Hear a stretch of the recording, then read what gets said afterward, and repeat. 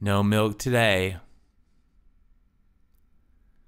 Mr. and Mrs. Green's cat was hungry. Meow. Stop that noise, said Mr. Green. Meow. She just wants some milk, said Mrs. Green. But the milk jug was empty. I will go and milk the cow, said Mrs. Green.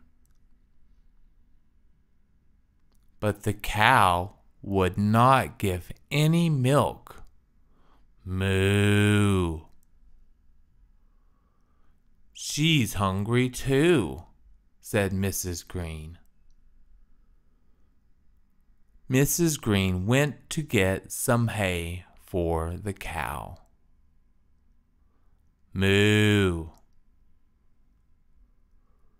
But she could not open the shed. She needed a key. Give me the key to the shed, said Mrs. Green to Mr. Green. But Mr. Green said, I can't. I dropped it in the snow. Go and dig the key out of the snow, said Mrs. Green. But Mr. Green said, My feet will freeze. My socks have holes in them. I will mend your socks, said Mrs. Green. But she could not find any wool.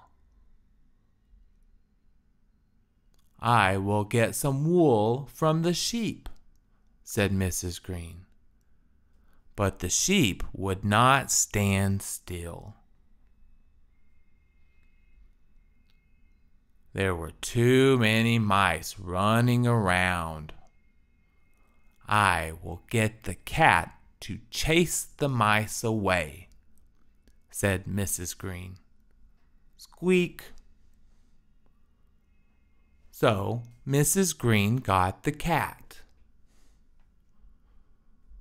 The cat chased the mice. The sheep stood still. Squeak! Mrs. Green got some wool she mended Mr. Green's socks. Mr. Green dug in the snow. He found the key to the shed. Mrs. Green got the hay. Moo! Mrs. Green fed the cow. The cow gave her some milk.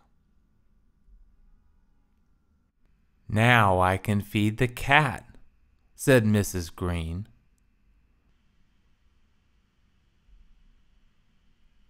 But the cat was asleep.